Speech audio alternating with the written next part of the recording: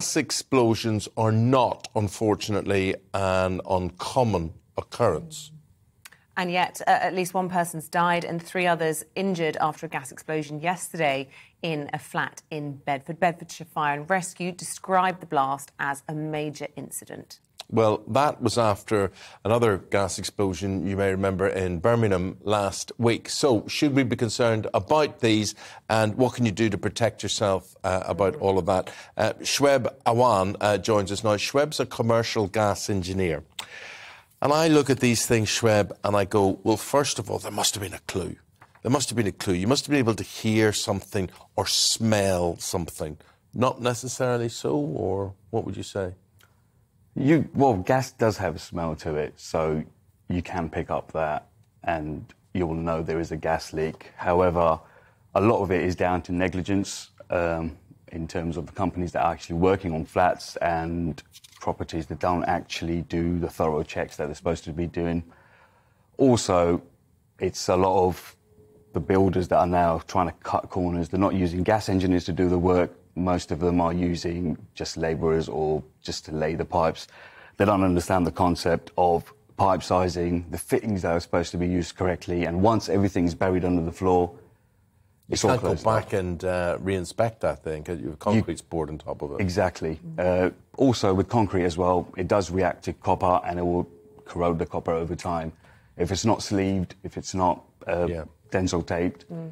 So that can cause a leak over time. It's so frightening. I mean, the pictures of these two explosions in the last two weeks have been absolutely catastrophic. And the fact that there have been lives lost as well makes it all the more tragic. I mean, is it really unusual to have these sorts of levels and size of explosions?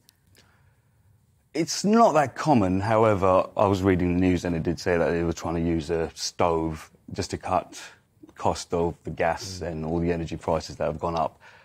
That's that was a new one for me. However, as I said, in something on that scale, when when these flats and buildings are built, they are built really fast. Yeah. And but then, mate, I mean, there are building standards and whatever. How, how come what you're talking about, and it's all part of what we would term as shrinkflation. You know, you buy a bar of chocolate and it's smaller than it used to be, but it's uh, probably more expensive, or a pizza, whatever, whatever.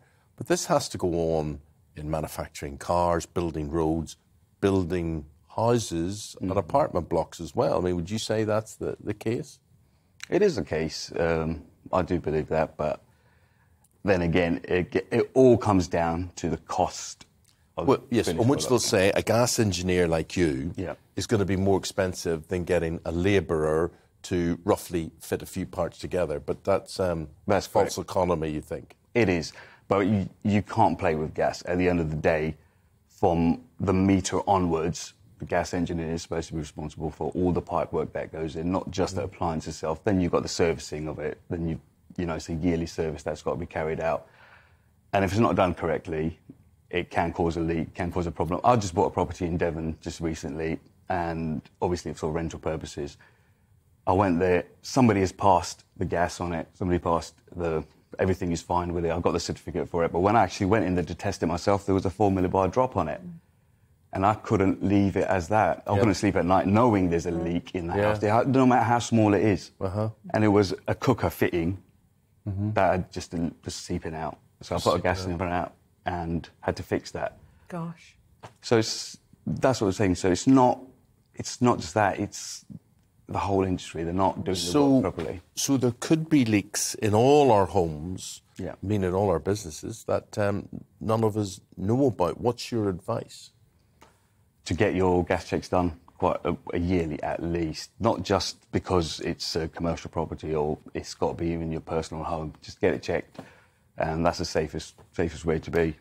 Good advice. It really is frightening. Uh, Shoaib Awan, thank you very much for coming in this morning and talking to us about all Thank you. Well, now you know.